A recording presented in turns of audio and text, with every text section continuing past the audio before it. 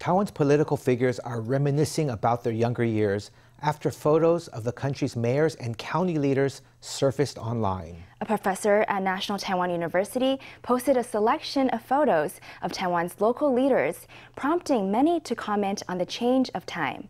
But which politicians could you recognize from the early days? This mm. grid of faded photos went viral. The lineup is Taiwan's current mayors and county commissioners and was posted by NTU's political science professor Wang Ye with the comment, Huh, we've all got a past, haven't we? On the top left is Taipei Mayor Ko Wen-je. Next to him is new Taipei's Hou Yu-ih, then Keelung's Lin Yu-chang. This graceful young lady is Yilan County Commissioner Lin Zi-miao.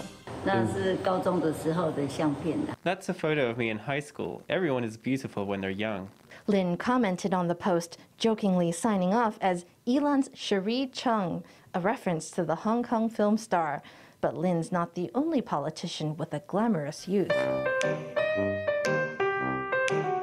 With those big eyes and strong brow, the dashing young Lin Yu-chang was quite a heartbreaker. But some internet users focused on the change wrought by time.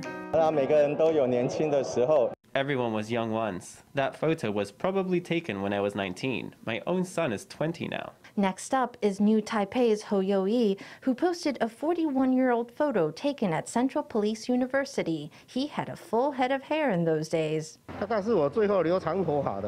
I think that's the last time I had long hair. The year I graduated from university, and after I graduated, I cut my long hair short because during serious cases, we'd have to arrest suspects. And here's Cheng Wen-tsan, mayor of Taoyuan, as a university student at NTU, sporting a fashionable perm. Who would have guessed his face used to be so long and thin?